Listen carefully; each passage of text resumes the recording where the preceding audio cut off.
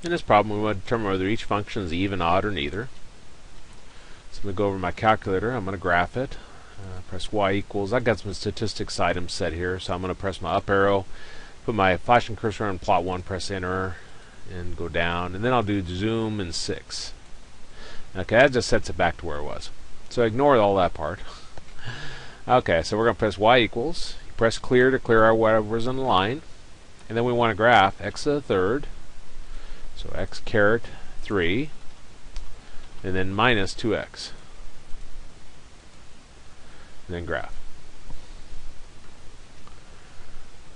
Now for our graph here, you notice um, it's definitely not even because if I start with like uh, this piece right here, if I flip it across the y-axis, there's no part of the graph where it land on here. Even is when it's symmetric to the y-axis. Now odd was is when it's symmetric to the origin. So if I start with this piece right here, if I flip it across, it'll land something like that. And then if I flip it across the y-axis, it will land on this piece. So if you flip it twice and lands exactly on that, that's odd. So our answer to this problem is odd. Now let's, um, just for fun, you don't have to do this on homework, but um, x to the third minus 2x.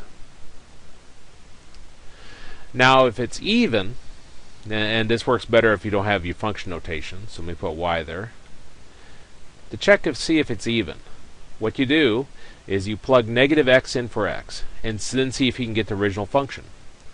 Well, we got y is equal to negative x to the third power minus 2 times negative x. Well, negative x to the third, negative x times negative x is a positive x squared times another negative x gives you a negative x to the third. Negative 2 times negative x gives us a positive 2x. Now there's no way I'm going to get that to look like our original function. So it's not even. Now for the odd.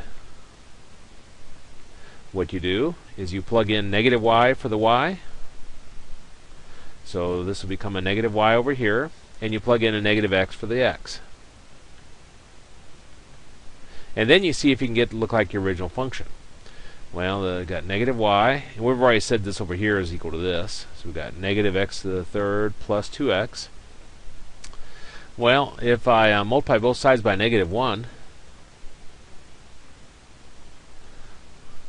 multiply everything by negative 1, I should say. I'll go ahead and um, multiply through. Negative 1 times negative y is y. Negative 1 times a negative x to the third is x to the third. And negative 1 times 2x gives you a negative 2x. Now notice it equals our original function, doesn't it? Um, since it equals our original function, that's why it's odd. Now if we're just using a graph, the reason why it's odd is because it's symmetric to the origin. And again, on the homework, all I care about is the graph. You don't have to do it algebraically. Um, but I wanted to show it in case uh, some of you are curious.